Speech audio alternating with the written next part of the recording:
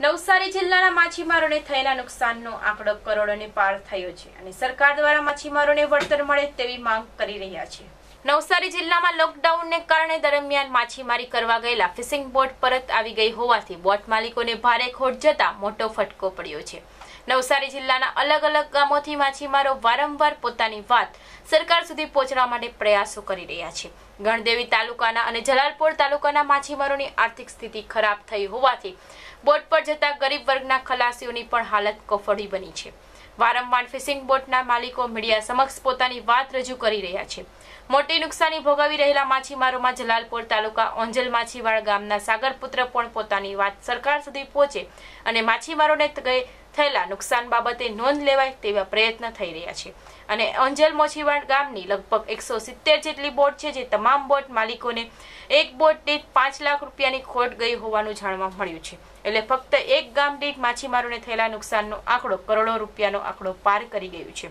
એવા ગણદેવી તેમજ જલાલપુર તાલુકાના અનેક ગામોના માછીમારોને થયેલા નુકસાને સર્વ કરવે સરકાર દ્વારા યોગ્ય સહાય મળે તેવી માંગ કરવામાં આવી છે અને સાગરપુત્ર ગણાતા માછીમારો પર સરકાર રહેમ નજર કરે તેવી વિનંતી કરવામાં આવી છે. મંત્રી શ્રી, અમારો વ્યવસાય મચ્છીમારી ટ્રોલિંગ બોટનો છે અને કોરોના વાયરસને કારણે માછીમારોને લાખો રૂપિયાનું નુકસાન થયું છે. અત્યારે એક ટ્રીપ બંધ થવાને કારણે પાંચ લાખ જેટલું નુકસાન છે. પર બોટ દીઠ.